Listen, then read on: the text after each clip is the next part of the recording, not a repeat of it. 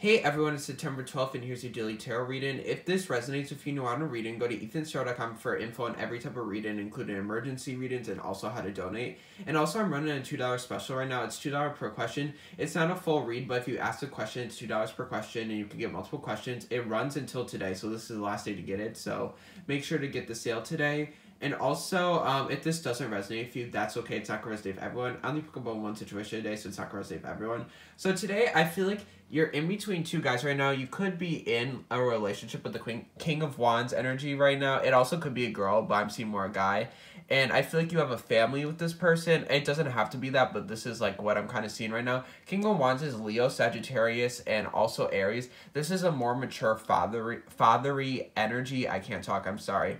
And also, I feel like the other energy is air sign energy. So Libra, um, Sagittarius, not Sagittarius, I'm sorry. Libra, Gemini, and also Aquarius. Sorry, I can't think. I was thinking of the King of Wands. This is less mature energy. The Knight of Swords is more young energy. They're more young spirited, I would say. Maybe they're the same age, but I feel like this is just younger outlook on life. They don't really like.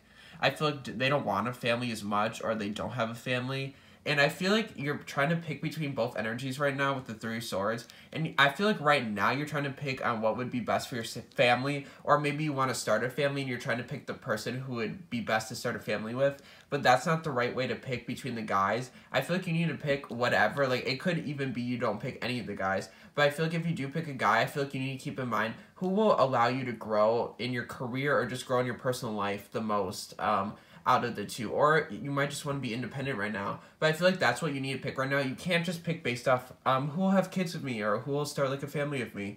I feel like um, you might feel pressured to pick that because society poses that standard on you or something like that. But I feel like you need to post or pick, I'm sorry, post, pick who's best for you and based on who will let you grow the most, like spiritually, in your career, whatever. So that was today's reading. Peace, love, and light. Have a great day, everyone.